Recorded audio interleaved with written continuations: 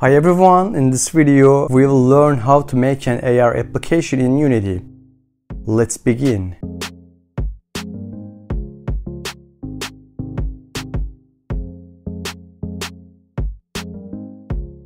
Firstly, go to the package manager, find AR Foundation and ARCore XR plugin, then download.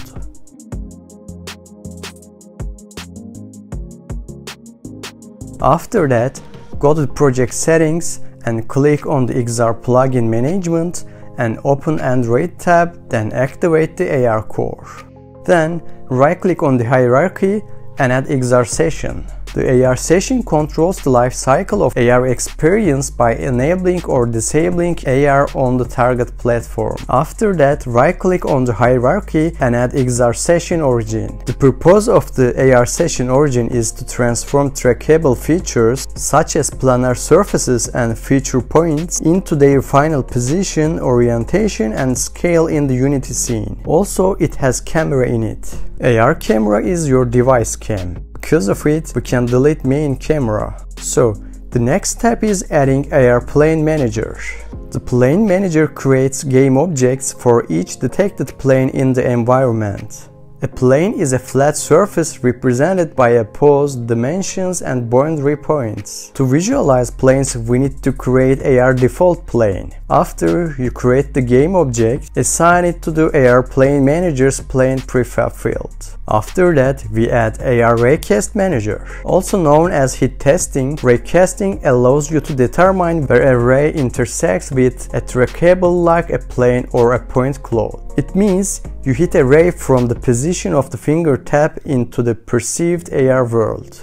The last step is add a controller for our 3D object. For this, we'll create a script.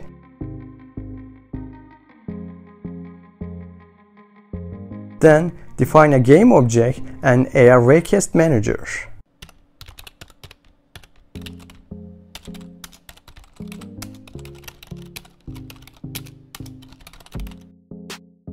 After that, define an update method and provide the input touch controls. If input touch count is bigger than 0 and touch phase is equal to begin, then add the AR Raycast hit list and set Raycast Manager Raycast.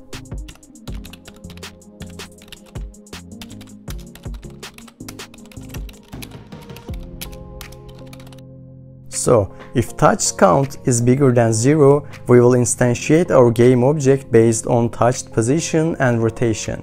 So that's it. Then we need a 3D object. I'll download it from Asset Store. It's a Battle royal character. After that, set your object size smaller and make it prefab then delete it from your scene.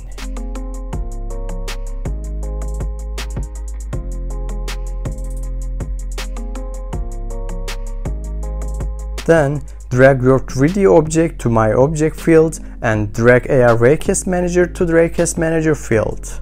So that's it. We need to build our application. There are a few settings we need to make here. Go to the build settings and choose Android platform and switch platform. And go to the player settings. In here, change your company and product name. If you had a Vulkan in your graphics APIs, just delete it. After that, choose minimum API level to 24 and change scripting backend to the IL2 CPP and choose ARM64 in target architectures. So we are done now. Just build your application and enjoy it.